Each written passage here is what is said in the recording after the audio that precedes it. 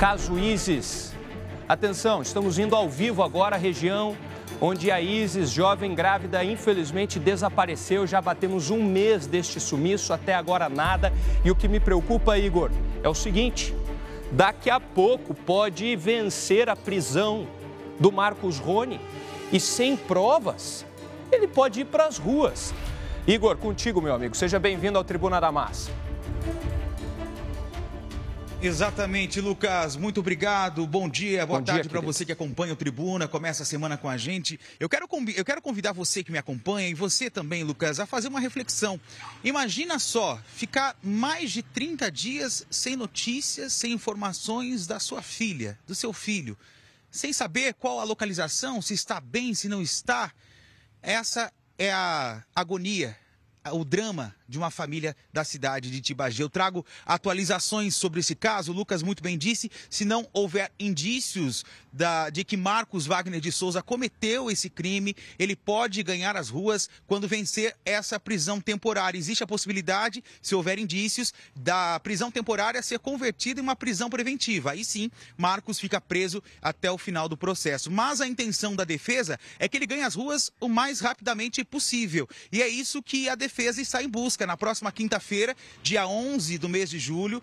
A defesa disse à nossa equipe de reportagem, confirmando que vai protocolar o pedido de soltura de Marcos na próxima quinta-feira, Lucas. Então, Marcos pode sim ganhar as ruas se não houver nenhum indício de que ele cometeu o crime, de que ele sumiu com Isis Vitória Mizeski. Ele pode sim, a partir de quinta-feira, após o pedido, após o protocolo, se for aprovado, ganhar as ruas na cidade de Tibagi.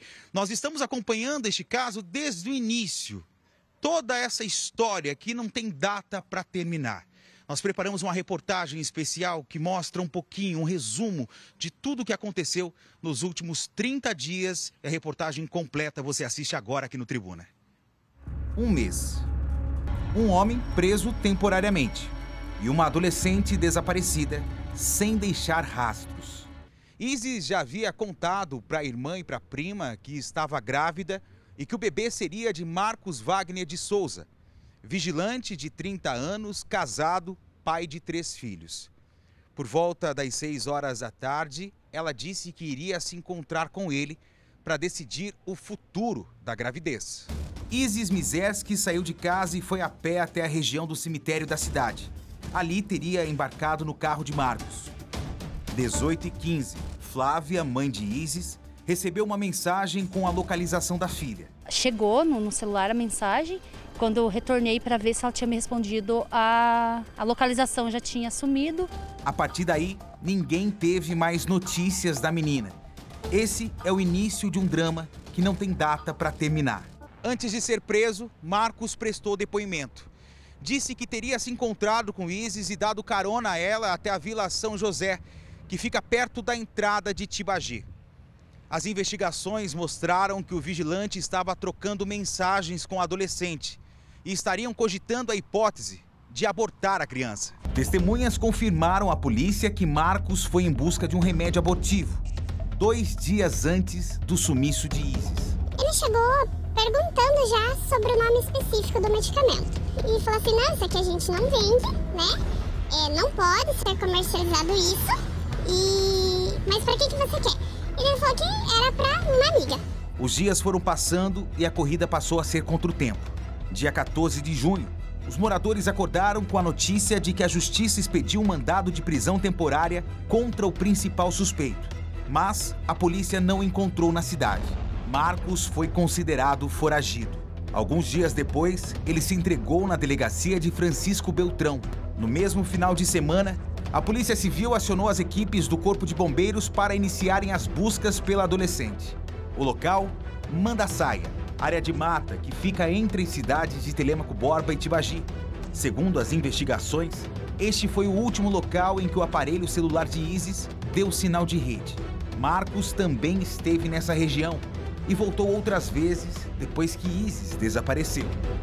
Denúncias direcionaram os trabalhos de investigação mas todas as tentativas foram em vão. Cansados de esperar por respostas, familiares e amigos da família organizaram um protesto. 1 de julho, O delegado Jonas Avelar, que estava à frente do inquérito policial, deixa o caso para sair em férias.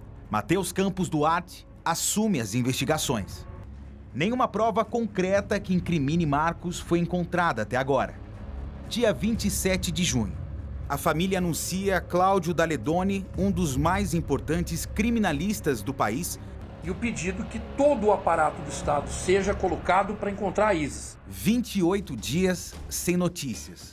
Uma nova evidência é encontrada. Fluidos corporais, sangue, urina ou saliva estão dentro do carro de Marcos. Dois fios de cabelo também foram localizados. O material genético é enviado à capital do estado para análise. Em todo momento, a defesa do principal suspeito nega que ele tenha feito algo a ISIS. Ele já apresentou a versão dele, então a partir de agora ele vai permanecer em silêncio e não vai prestar mais nenhuma informação.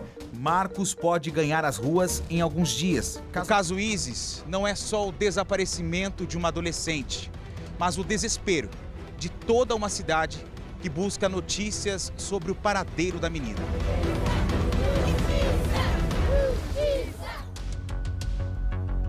Para vocês acompanharem tudo com a gente.